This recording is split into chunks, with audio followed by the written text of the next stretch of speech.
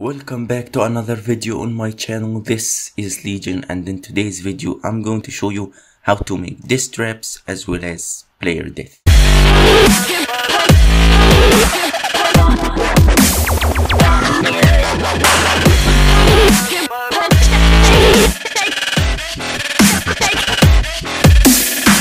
In the Unity editor I have a scene in which I have my character, a couple of platforms and a jump button.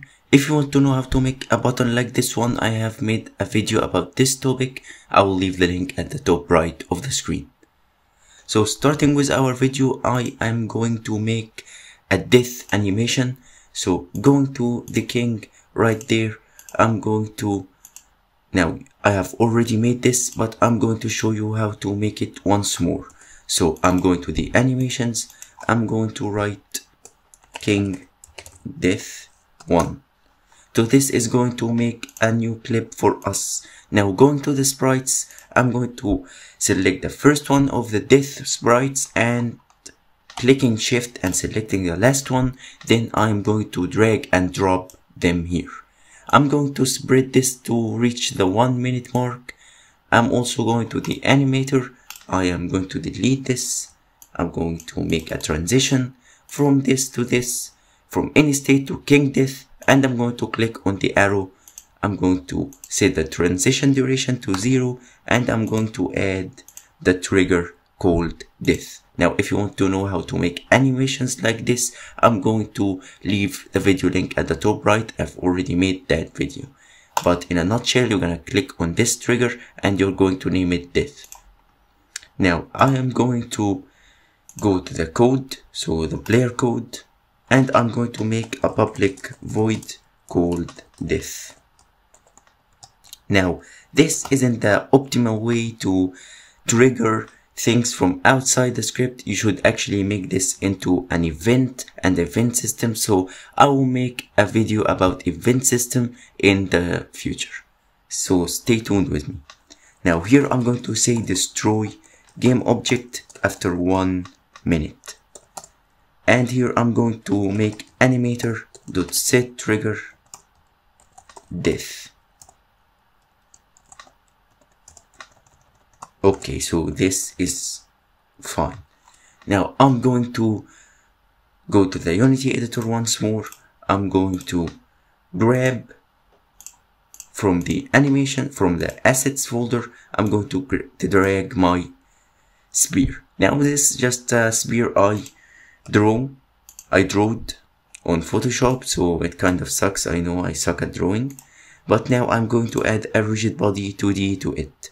I'm also going to set the gravity scale to 0 I'm going to freeze the rotation. Now I'm going to add a box collider 2D I'm going to make it Is Trigger.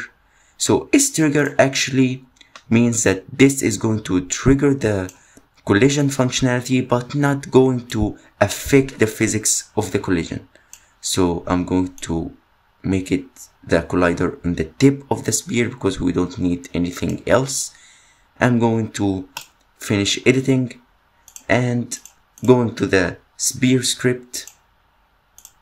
I'm going to first off make a variable called rigidbody2d I'm calling it RB I'm also making a serialized field a float called speed now going to the void start, I'm going to say that RB is equal to get component rigid body 2D. No, I, I misclicked rigid body 2D. So this is going to actually capture the, the, the rigid body component of the game object this script is attached to. Now going over to the update method. So before the update method, I'm going to make a void on trigger enter 2D. And I'm going to make an if statement saying that if collision dot game object dot compare tag is equal to player. So if the object I collided with, the spear collided with, is the player, have the player tag. Now what this is going to do is it's going to destroy the game object, which is the spear, and also going to trigger the death method. So how can we do this? We are going to write collision dot game object dot get component player sorry player dot death now you need to move the spear somehow so I'm going to write so in the start the velocity of the rigid body is going to be equal to vector 2 dot left times the speed. Now I'm going to save this. So this should so this code should basically when the game starts is going to move the speed to the, the spear to the left. So going over I'm going to add the spear script. I'm going over to the king I'm going to put the tag as the player as well as making the layer as the player. Now I'm going to also set the speed to let's say 7 and going to run the game. You can see that the spear is moving and boom he died. So how can we make this that the character when he approaches and becomes near to the spear the spear goes off heading back to our script once more once more i'm going to say in the fixed up in the update method sorry i'm going to say if physics 2d dot raycast is equal to something. So now i'm going to this raycast is basically an invisible line that shoots from the origin to the direction. So i'm going to say that the origin is rb sorry rb dot position the direction is vector 2 dot left. The distance that the raycast travels it's uh, let's say 10 and I'm going to also add a layer mask called hero layer. So what are layer mask? So basically this layer mask is going to make the raycast only collide with the specific layer with a specific layer. In this case the hero layer. I'm going to make here a layer mask called hero layer. I'm going to serialize this so we can edit this in the editor. Now I'm going to cut this movement code and paste it paste it here.